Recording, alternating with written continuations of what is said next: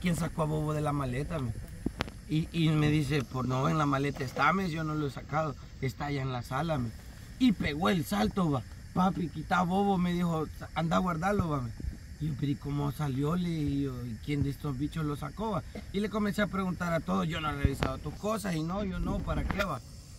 Y me quedé yo así, va, como que juela, ¿y quién sacó a Bobo de la maleta, va? Porque, porque estaba, estaba en la sala. Ya le pregunté a todos, me dijo uno de mis cheros, a mí regalámelo, me dije, yo me lo voy a agarrar, va. Pero obviamente estaba en la misma casa y yo dije, o sea, no sé qué estará pasando o, qué es lo que ella se imagina que, causa ese efecto en, el, peluche, pues.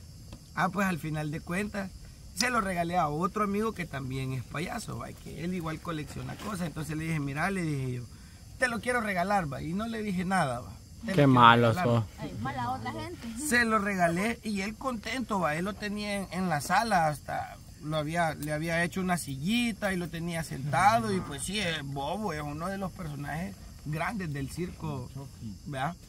Y todo va. Entonces, como al mes que lo volví a ir a visitar, me dijo, mira, me vas a disculpar, pero que me abobo. me". Yo, ¿por qué? Le dije. Es que la verdad es que no sé, algo tenía o, o no sé qué, me pero Bobo se movía, me.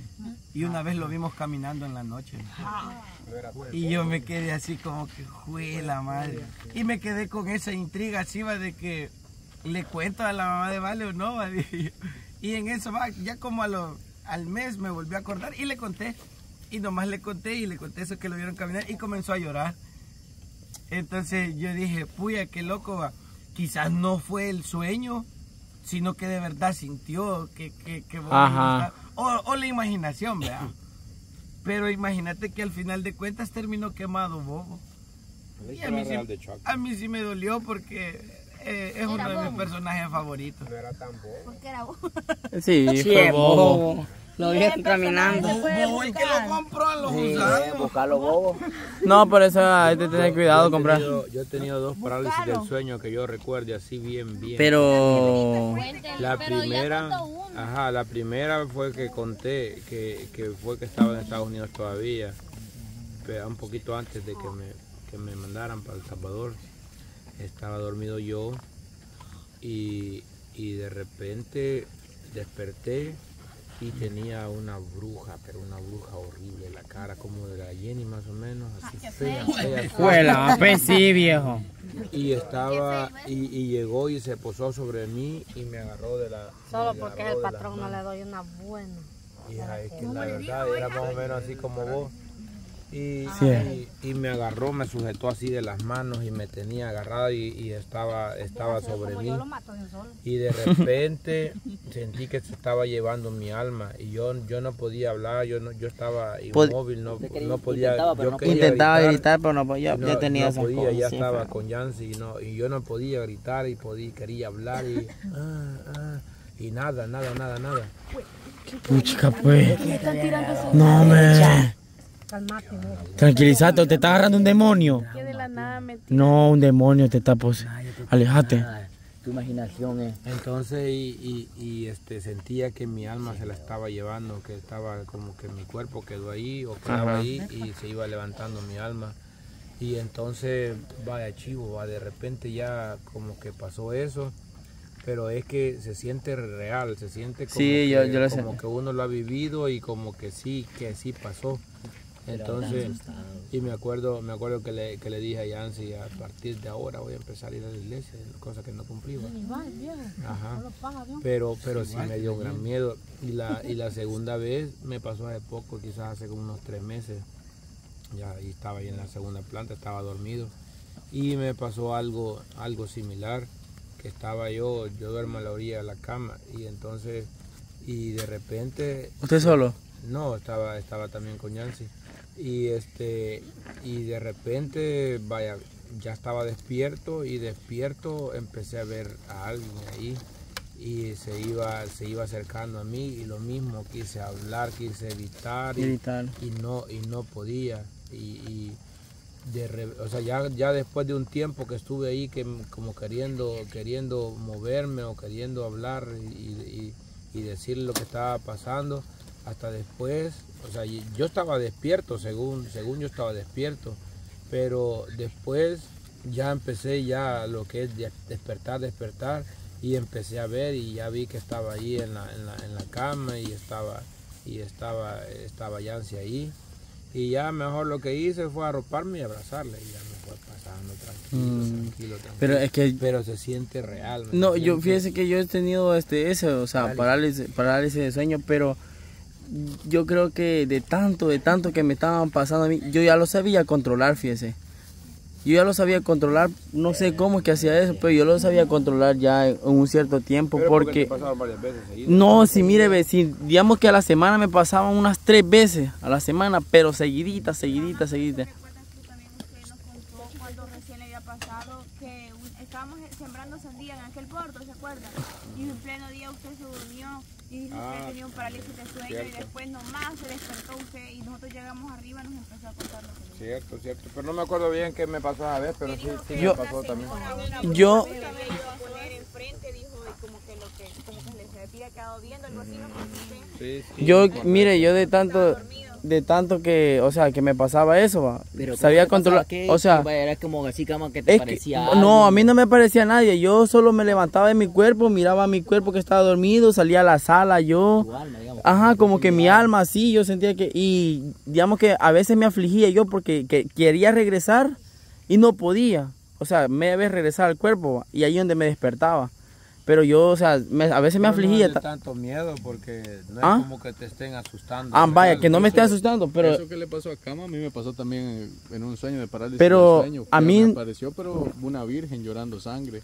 Y yo dormía así. Yo me acuerdo, yo siempre he dormido con la, con la puerta cerrada. Porque Ajá. a mí, si yo duermo con la puerta abierta, siento que alguien me está viendo, no puedo dormir. Entonces, yo me acuerdo que eh, como que me desperté y vi la puerta abierta. Y de una vez fue como, uy, está abierta. Uf. Pero yo veía como de aquí a donde está allá la huerta, se veía la, la refrigeradora. Y entonces, como detrás, se vio como una, una silueta. Y nada más venía una virgen así, como flotando, ni siquiera tocando, nada más así flotando. Y entonces se iba acercando poco a poco. Pero yo decirte que pudieron haber sido, ¿qué? Unos ocho minutos que yo la vi que se venía acercando y acercando. Mm, Es que acercando. se siente muy largo el. el- Pero lo, lo feo es que primero venía llorando sangre y después ya entró al cuarto y donde entró al cuarto se seguía acercando y yo no me podía mover, yo solo me podía quedar viendo, viendo, viendo. Entonces yo estaba así y la Virgen se iba acercando, acercando, hasta que ya la tenía así en la cara. Yo le sentía el calor y todo y, ¡ah! y pegó un grito. Yo me desperté, donde me desperté, me desperté sudando, llorando y la puerta de mi cuarto estaba abierta. Yo, yo de tantas veces de que, que me pasaba eso, solo una vez que sí me dio un poco de miedo porque, porque, o sea, este, fue bien, bien escalofriante porque yo me, o sea, uno se queda así, se han fijado, va? que yo dormía, o sea, dormía a la orilla de la cama, pero a mí me, me gustaba como tocar el piso, pero con una, o sea, con una mano así, va.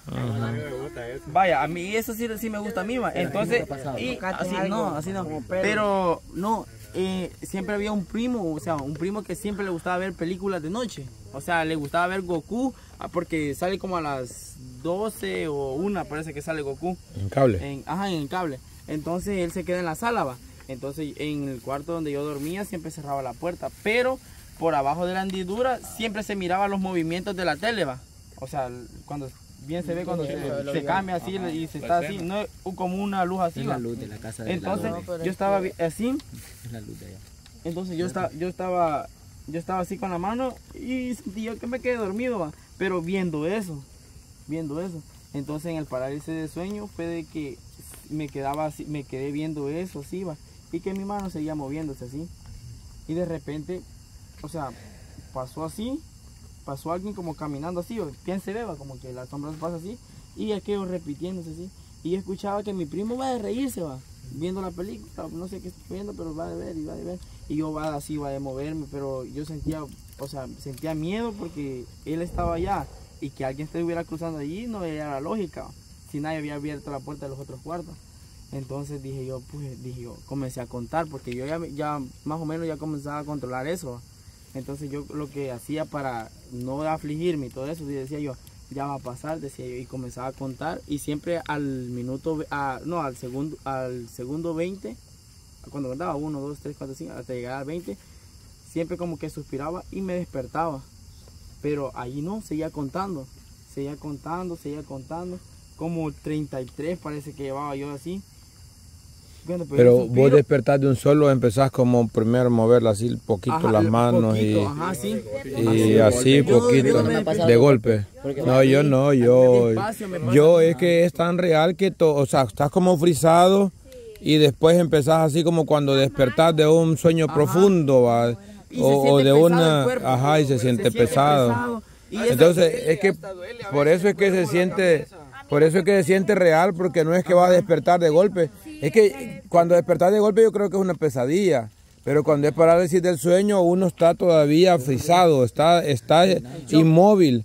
Entonces empezás primero como a mover la- los dedos así despacito, ya después ya podés presionarlas un poquito más hasta que ya vas despertando en vos. En el transcurso que, que yo estaba contando, no le voy a mentir, yo, en- porque me afligía, comencé a gritar, porque Oscar se llamaba el que, mi primo, comencé, Oscar, Oscar, Oscar. ¿Pero Oh, podías hablar o hacías así? No, o sea. No, es que yo, yo sentía que gritaba. yo sentía. No, es que yo sentía en mi, en mi, en o sea, yo sentía que gritaba, pero no me escuchaban. Y yo oía que me tocaba la puerta y decía que entrara, que entrara, entrara, que entrara, entrara. Entonces, seguí contando. Me tranquilicé tanto que seguí contando y al minuto 33 fue que cuando desperté así, Segundo. me levanté, ajá, segundo. Me desperté yo, abrí la puerta y él va a reírse.